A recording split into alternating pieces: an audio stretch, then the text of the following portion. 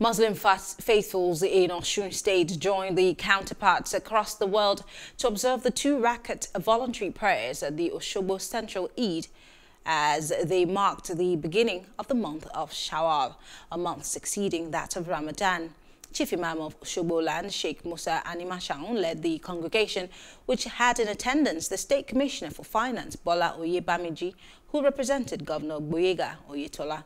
Sheikh Animashaun said all Muslims should continue all the good deeds done during the period of fasting and increase their acts of worship.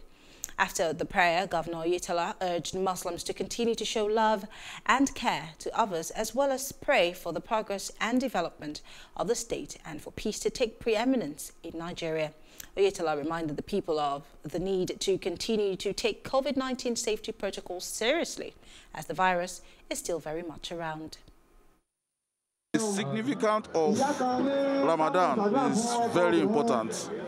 And he wants the people of the state of Osun to continue with a good conduct, with prayer, with share of love and kindness, so that at the end we will have the cause to glorify the holy name and we will be able to pray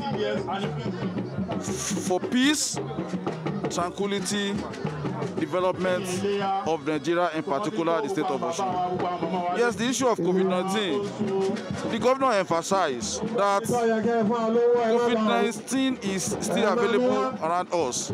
That is important that we observe the protocol of COVID-19. We are ready more than ever to, to continue to ensure that the uh, peace that uh, we witness here uh, continues to thrive much better than uh, it has been. Hello, hope you enjoyed the news. Please do subscribe to our YouTube channel and don't forget to hit the notification button so you get notified about fresh news updates.